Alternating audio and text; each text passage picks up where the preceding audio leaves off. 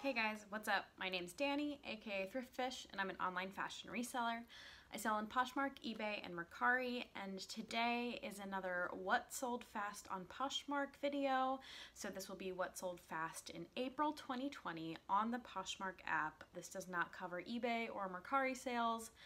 I focus on this. I just download my sales report and punch in an equation and I'm able to find out how many days an item was on the platform before it sold. So I do that every month and today we're going to be going over 15 items that sold within one day of listing on Poshmark. And another thing I do in these videos typically is actually also tell you what sold slowly. So I'm going to go over five items in my closet that sold the slowest in April. So fun, fun. Disclaimer, uh, sales are definitely down. My average sale price is also slightly down um, due to COVID-19, or due to not being able to go out for the regular amount of inventory, so not being able to list as much, people's incomes are not what they should be, so the crisis has definitely brought my sales numbers down a little bit, but I'm still selling things fairly fast. I had over 15 items that sold within a day of listing, so I'm still happy with that. So I'm gonna go ahead and take you through one by one. We'll start with the items that sold within one day of listing on the app and we'll end with the items that sold the same day as they were listed. Some of these items are actually relists, so they didn't actually sell the first time they were listed um, on the platform for that many days. But when I relisted the item, they sold either the same day or the next day. So I'll let you know what those items are. And this may skew the data a little bit, but it also shows how effective relisting can be for items that have been sitting in your closet for a little bit. If you just refresh the listing with relisting, they will show up in the just in category when people are searching on Poshmark, which can boost views and get new likes and new interested buyers. So I try to relist as much as I can. I've been relisting five things a day, especially since I'm not able to list as many new items. So relisting is a big part of my business plan when it comes to Poshmark. So let's go ahead and get started. I've done a lot of talking. So the first item that sold within one day of listing on the app, and this was actually straight up, I listed it and it sold the next day, uh, or within 24 hours, was a Zara Basic button front sleeveless crop jumpsuit. I sourced this on Poshmark and it sold on Poshmark. It sold for $28 and gave me an earnings of $20.28. I will be telling you my earnings, um, but I will not be telling you my cost of goods, uh, just because that can differ so widely from business to business. The next item that sold within one day of listing on the app was a relisted item, and it sold in a bundle. It was a Melrose and Market sweater. It was something I found at the bins. It was just a cute soft sweater, uh, so I didn't mind that it sold in a fairly inexpensive bundle and earned me $5.73. The next item that sold within one day of listing, and this again was uh, something that I listed and it actually did sell the next day, was an And Other Stories prairie midi dress. This was gorgeous. This is another thing that I sourced off of Poshmark and it flipped on Poshmark. It sold for $35 and gave me $25.88. The next item that sold within a day of listing on Poshmark was a pair of AGOLDE Sophie Crop Release Hem Skinny Jeans. I really like selling AGOLDE. This was even a little older uh, tag of AGOLDE, but I believe that the style is still fairly uh, current. So these sold for $40 and gave me an earnings of $32. So that for me was a good sale. Next, these sold within 24 hours of listing on Poshmark was a pair of Madewell the Dakota Black Knot slide sandals, and actually these were a relist. I'd had these in my closet longer, but I relisted them, and that helped them sell for $20 with an earnings of $16. I do believe this was an offer. I sold them for a little less than I wanted, but that is okay. And the last item that sold within one day of listing on Poshmark was a Helmut Lang v-neck cotton cashmere cuff sweater. This thing was so pretty. I think it was one of the last things I picked up at the Good, no, not Goodwill, the ThredUp outlet before uh, I stopped sourcing in person. It sold, again, this one sold for $40 and gave me an earnings of $32. I was happy with that sale. All right, now we're on to the things that sold within the same day of listing on Poshmark. So the first thing was a Callahan Angora Blend V-back sweater jumpsuit, and I actually had purchased this for myself. It didn't fit quite right, so I ended up selling it on Poshmark, and it sold the same day for $35, and I earned $28 from that.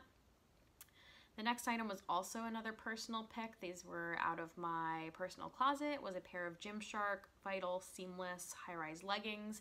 I really liked these, but they kept riding down on me, and I really liked the rise on them, but they would never stay up. So I did sell them, and they sold the same day for $20. I earned 16 Next was another thing for my personal closet was a pair of Allbirds wool runners. They were like a light pastel pink um, or purple.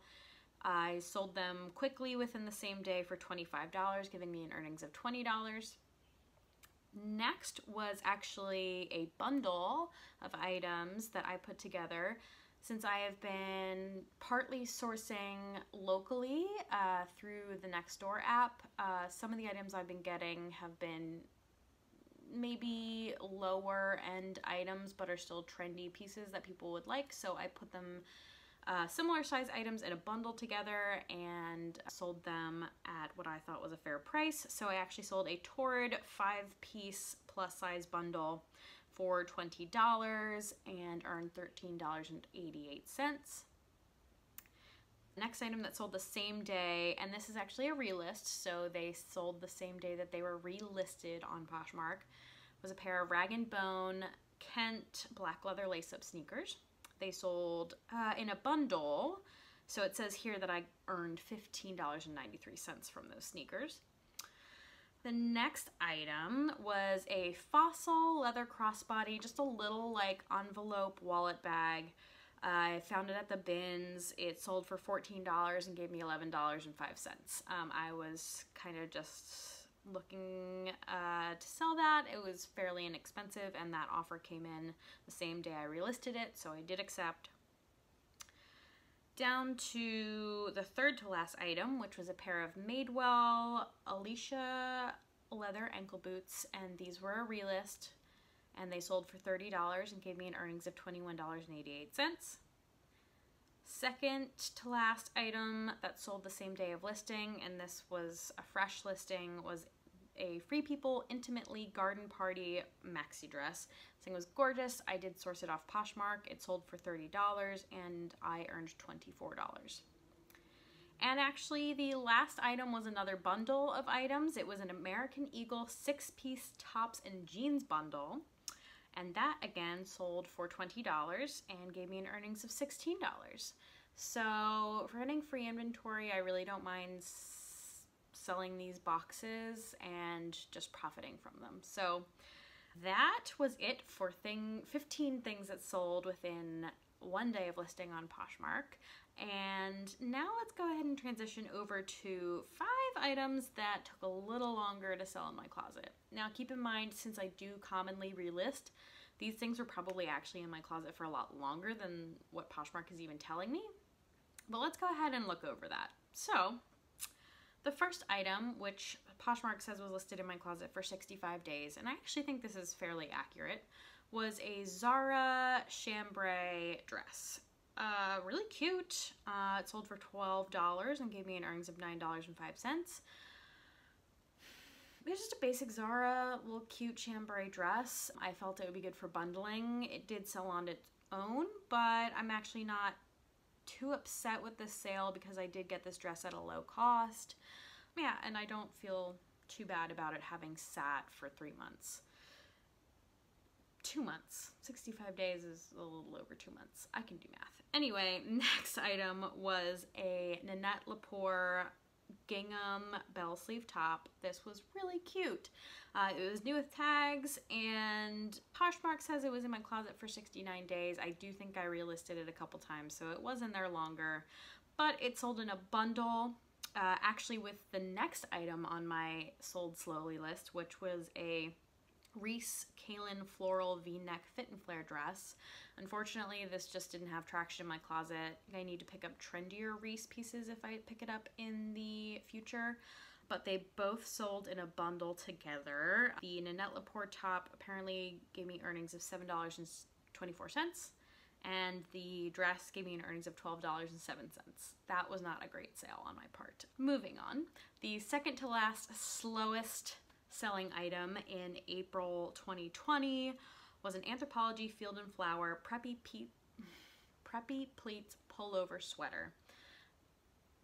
I kind of regretted this purchase. It just wasn't very stylish or on trend. It sold for $15, which gave me an earnings of $12. I don't think I spent a whole lot on it. Uh, and that's kind of okay for older, less stylish anthro pieces. That's kind of the going rate. Poshmark says it was in my closet for 114 days, and that might actually be accurate. The last item that was in my closet for 116 days, and it might have been longer than that, was from my personal closet, was a pair of J. Crew drawstring pants. These were just a basic pair of J. Crew pants. I wasn't expecting to get a lot, but I was done with them, so I sold them for $8, giving me an earnings of $5.05. so that is it for today. Uh, those were 15 things that sold fast and five items that sold really slow in my closet in April of 2020. Let me know what your fastest selling items were this month. If you like this video, go ahead and give it the thumbs up. If you like this content and want to see more from me, you can go ahead and subscribe. Thank you so much for being here, and I'll see you again real soon.